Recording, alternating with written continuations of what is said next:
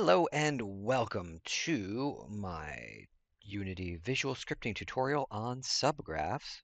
In a script graph, you can add a node that links directly to another script graph. A nested script graph is called a subgraph. A subgraph can be embedded in the node that adds it to a graph, or it can be linked to an external graph file. Subgraphs can help you to reuse and organize logic across your application. You can configure a subgraph to take inputs as well as send outputs back to its parent graph. There are a few ways to create a subgraph. You can either do it from within another graph by just creating it there, editing the embedded graph, or switching to a new graph. Or the easier way is to go into your project files, create visual scripting and script graph. From here, you can edit the script graph and turn it into a reusable subgraph. I would like to take this opportunity to pause for a moment and ask for your help. I'm still very new to creating tutorials, so I need you to let me know what I'm doing right and what I'm doing wrong please take a moment. If you enjoy this video, if you've learned something from it, click the like button down there. If you're looking forward to seeing more tutorials from me, hit that subscribe button. And if you have any questions, comments, concerns, anything, leave a comment below the video. I would like to expand my offerings when it comes to Unity as well. I want to be able to create subgraphs that I can offer to people to allow them to use. If you're interested in getting a subgraph created for you, just tell me what you want it to do and I will do my best to make a reusable subgraph component that you can just drop on an object in your world and just have things happen. I look forward to hearing from you. Now that we've covered the basics of subgraphs, let's actually dig into the specifics here. I highly recommend entering a title and a summary for every subgraph you create. It makes it a lot easier to understand what they do and how they work. So for this one, I'm just going to call this a subgraph example for the summary for the time being, an example subgraph for my tutorial video.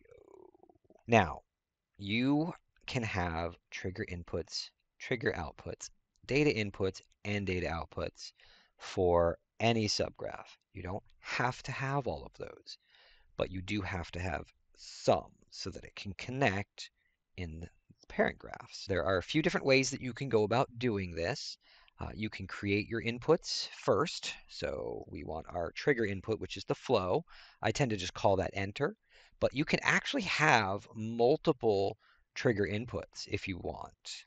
That allows you to then put your input node here, input in nesting, not Unity Engine. They are different. And you'll see now each one of these that I create over here exists.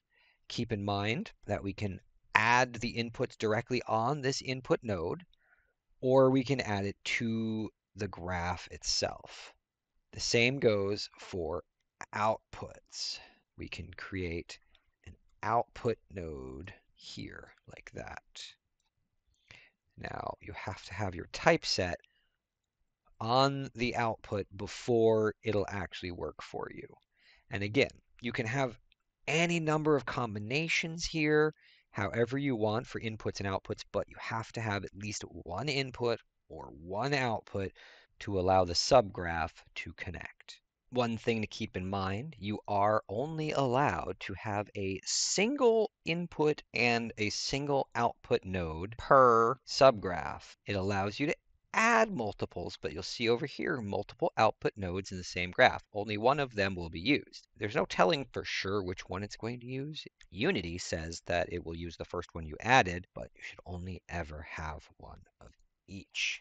Now that we've gone over the components of subgraphs, let's just create one and see what we can do. We're going to take our existing input and we're going to change this. Now notice changing the key of this definition will break any existing connection. So when you make changes to these, you have to be very aware that it could break. So you want to get these things set up first before you actually put them to use. And we're going to call this one add health. we're going to call this one remove health. We're going to add a data input here. We're going to call this change amount. It is going to be of type integer. And we're going to go ahead and check this has default value box. And what this does is this allows us to enter a value in the subgraph when we're looking at the parent graph. Now, from here, we can actually have two different flows. The first thing we're going to want to do is get a copy of our save variable player health that I've created. And then we're going to need an add node. And we're going to need a subtract node. And so what we will do here, we'll take the player health, we'll take the change amount, and then we will do two different set variables here depending on what we're doing. If we're adding health,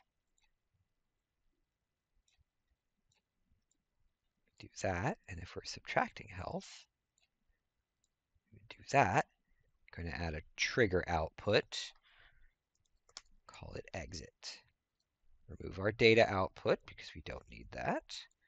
And we can put both of these like that.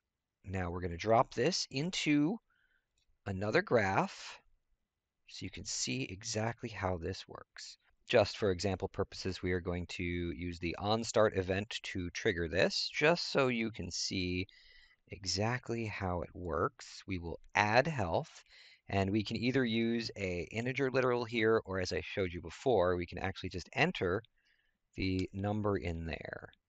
Now, we will go ahead and hit play, and you'll see that this player health I see, there it is, 110. Now if we go back and instead do the remove health, hit play here, and player health will drop back down to 100 right there. We do it again.